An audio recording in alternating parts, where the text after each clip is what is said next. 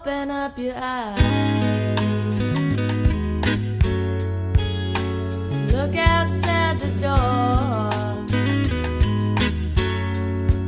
It's a lovely.